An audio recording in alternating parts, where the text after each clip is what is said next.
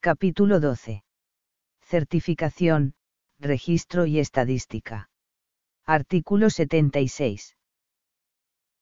Certificación de la discapacidad. El certificado de discapacidad acredita la condición de persona con discapacidad. Es otorgado por todos los hospitales de los Ministerios de Salud, de Defensa y del Interior y el Seguro Social de Salud, e-Salud. La evaluación, calificación y la certificación son gratuitas. Artículo 77. Falsificación de certificados. El personal que otorgue certificados falsos respecto del grado o la existencia de una discapacidad incurre en el delito de falsificación. Artículo 78. Registro Nacional de la Persona con Discapacidad. 1. El Registro Nacional de la Persona con Discapacidad, a cargo del Consejo Nacional para la Integración de la Persona con Discapacidad, CONADIS, compila, procesa y organiza la información referida a la persona con discapacidad y sus organizaciones, proporcionada por las entidades públicas de los distintos niveles de gobierno contiene los siguientes registros especiales. A. Registro de personas con discapacidad. B. Registro de organizaciones que representan a las personas con discapacidad. C.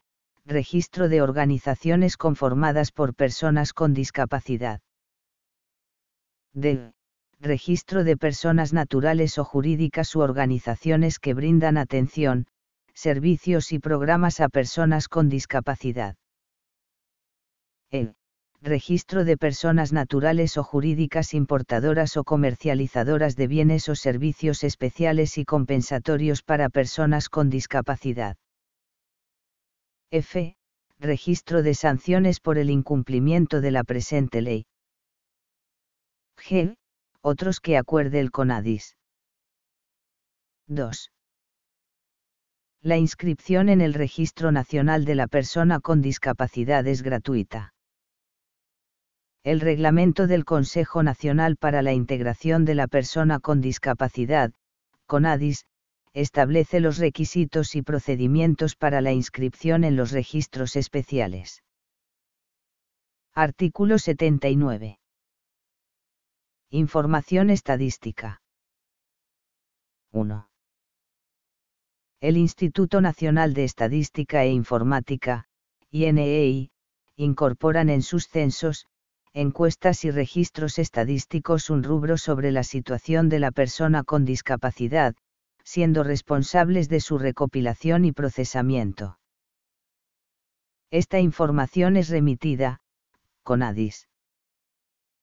Difusión y debe ser realizada por todos los sectores y niveles de gobierno en la formulación, el planeamiento y la ejecución de sus políticas y programas. 2. El Instituto Nacional de Estadística e Informática, INEI, y el Registro Nacional de Identificación y Estado Civil, RENIEC, participan en la actualización del Registro Nacional de la Persona con Discapacidad.